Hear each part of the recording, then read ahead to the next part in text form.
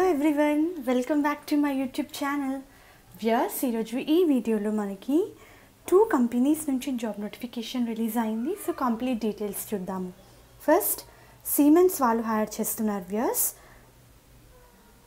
Fresher developer పొజిషన్స్ని hire చేస్తున్నారు. ఈ పొజిషన్స్కి అప్లై చేసుకోవడానికి BE B Tech MCA ME M Tech చదివిన వాళ్ళు ఇంపార్టెంట్ జావాలో నాలెడ్జ్ ఉండాలి. Good knowledge in Java J two double E Spring Boot relational ఎన్నో ఎస్క్యూఎల్ డేటాబేసెస్ అని చాలా క్లియర్గా మెన్షన్ చేశారు. అండ్ అలాగే క్లౌడ్ టెక్నాలజీస్ ఏడబ్ల్యూఎస్ అజూర్ మీద నాలెడ్జ్ ఉండాలి.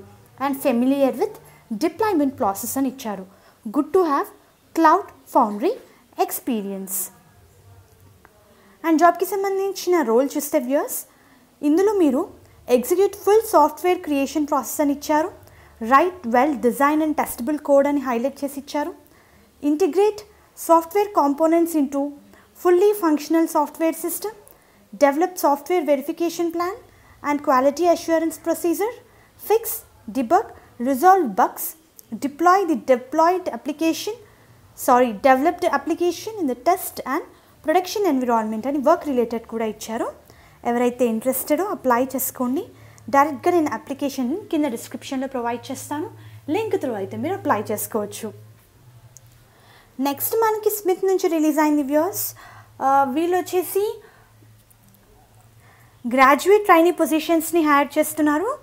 అప్లికేషన్ ఎండ్ డేట్ వచ్చేసి thirty first May start date seventh June. Full time employment ఇది.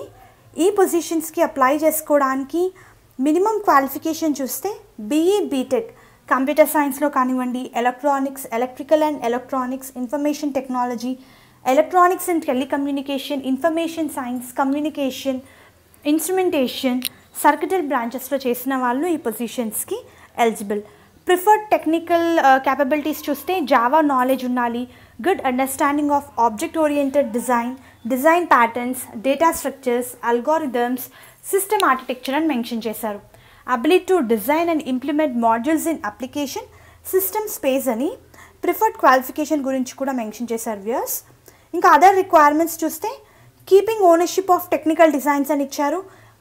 Score code and component test వీటి మీద ఓనర్షిప్ ఉండాలి and execute demonstrate alignment to functional specifications అని mention చేశారు. Object oriented design design patterns micro services algorithms architecture data structure system architecture మీద knowledge and understanding అయితే ఉండాలి. So ఎవరైతే interested mainly eligible apply చేసుకోండి. నేను టూ ఇంపార్టెంట్ లింక్స్ కింద డిస్క్రిప్షన్లో ప్రొవైడ్ చేస్తాను.